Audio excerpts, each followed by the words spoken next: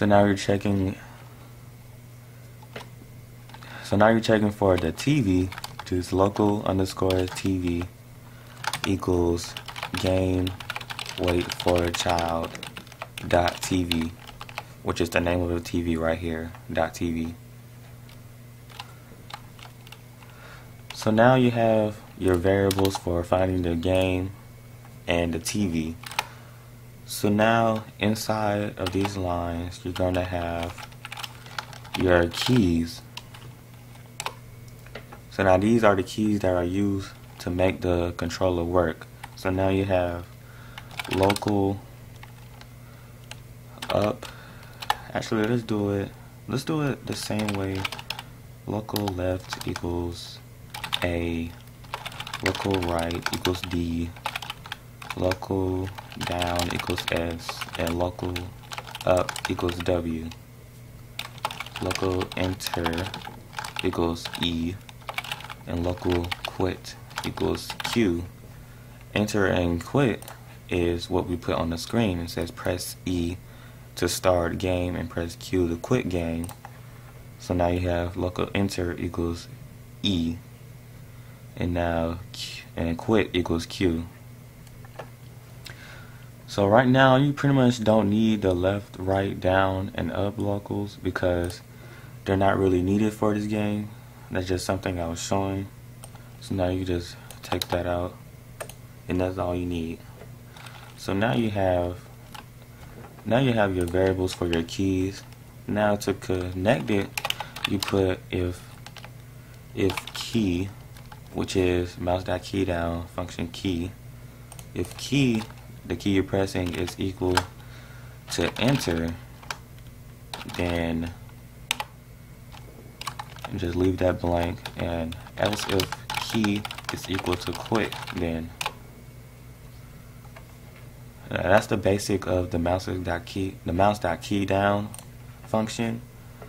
Now at the end this is where you put it where let's say you put it where the script is destroyed once once there's there's no controller anymore.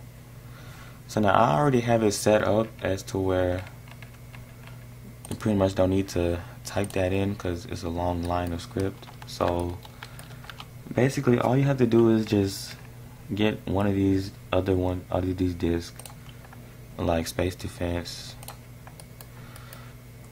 go inside the game GUI, the players button script, and click on either one of these.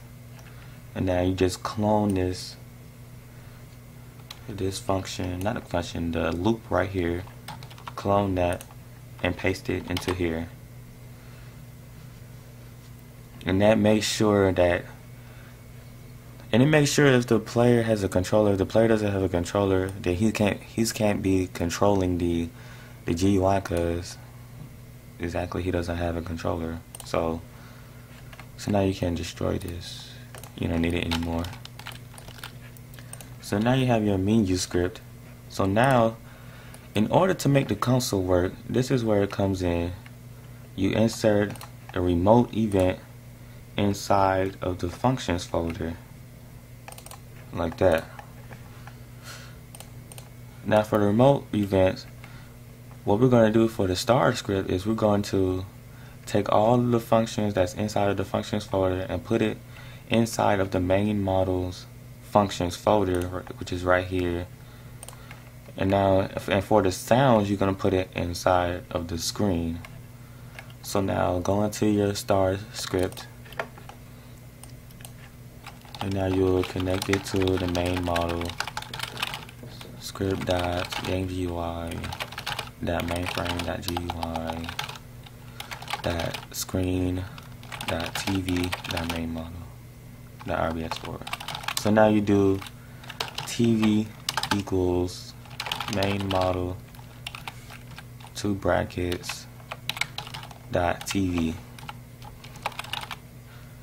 and that console equals main model dot console.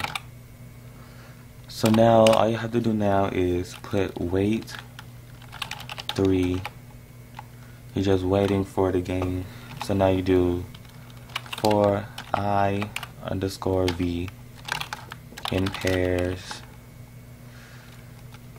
First you have to put local GUI equals script dot parent. That's the game GUI. So I'm gonna do GUI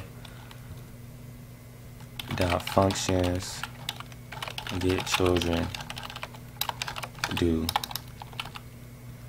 So now all you have to do for this is do local a equals any variable a b c d do a equals v clone and now you do a dot parent equals the main model dot functions which is this folder right here. It will insert it inside of this folder right here. Now you do a dot event script dot disabled equals false. The event script is what makes the remote function works not remote function the remote event works. So I have to do just click on the remote event and insert the script and name it event script. Now for the event script, this is how remote events work. You with the with the local the local script, which is the menu.p1 script, it can the remote event can only be called from the local scripts. As so, you put main model dot functions not main model dot game underscore game dot functions dot I'm gonna rename this remote event to game menu not game menu event game event just name it game event. And now you do game event fire server. You're connecting it to the server. And now you do So now we're going to do P1, which is the type of player he is, and colon, enter.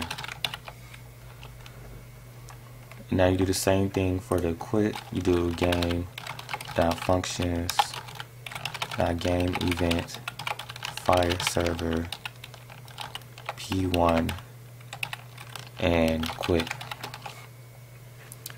So now that's how you fire the server to the remote event. So now the event script, you will put, you will connect it to the main model as every script you do script.parent. So remember it's going to be in the function script which is right here.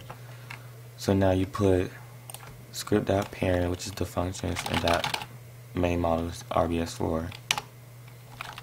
And now for the TV you have main model brackets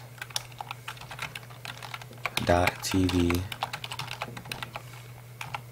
and now you have the console main model brackets dot console. So now to connect it to the local script you have to do script dot parent dot on server event which is where it's being fired to the server, so it's on the server event. That's self-explanatory. I do colon connect function p, which is the local player that fired the server. You do p, which is not needed, so it's just, it's just p. Colon type type is the type of player that sent it and button, the button that they pressed, and enter. So now the type button, you'll have P1, which is the type, which is right there, and enter, which is the button that he pressed right there. So that's basically how to get your your function, your remote event set up, and get your local and players button script set up, and your star script. So thank you guys for watching this part 2 video of how to make a game for the RBX console. like and comment if you have any problems. I'll get back to you about that. And thanks for watching. Peace.